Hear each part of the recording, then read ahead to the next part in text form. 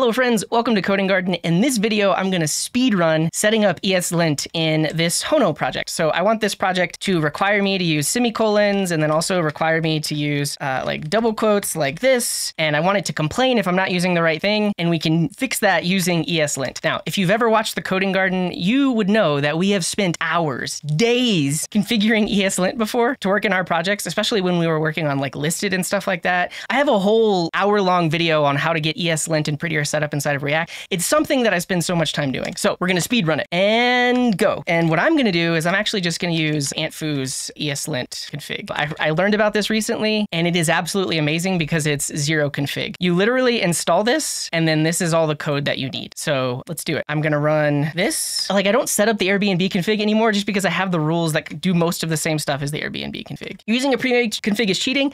I agree, but that's why this is amazing. Uh, so let me show you what it can do. So first of all, you select the framework. So if you're using like front end stuff, good to go. Then you can choose if you want to use a formatter. AntFu has a whole blog post on why he still prefers ESLint over something like Prettier. And because ESLint can handle all the formatting rules that Prettier can, he still uses just ESLint. And I agree with it. So I'll, I'll link that blog post in the description. This is the other really cool thing about his CLI is it generates VS Code settings that automatically lint on save and automatically format on save. So I don't have to set all of all of that up manually. And now it's working. It's working already. So you can see that I get a linter error that says unexpected console statement. And all this did was install the AntFu ESLint dependency and then set up the config here. We're done. We're done.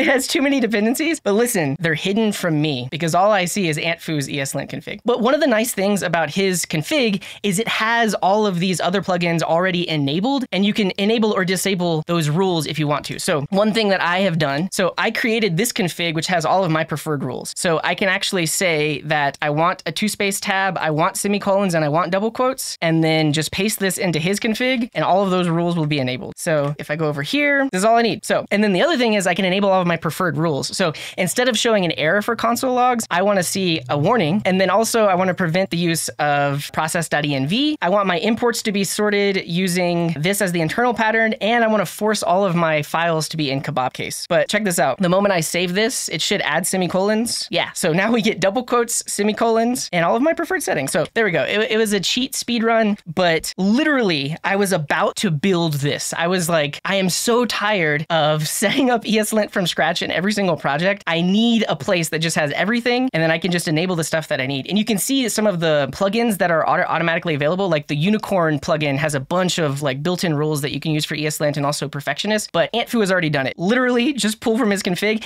and this uses the latest uh, ESLint 9 config version. That's it. That's the speed run. I'm done. Uh, look at this. it's, it's automatically linted, automatically formatted, and then the other thing that it added was my VS Code settings here. So what's really nice and what I like enabling in every single project is to automatically lint on save, and then it doesn't format on save because we're running our linter, we're not running our formatter. Yeah, that's it. no fair. Check out AntFu's ESLint config. It's amazing. And then also I'll link his blog post where he talks about why we should still lint and prettier isn't exactly enough. Okay, thanks for watching. Bye.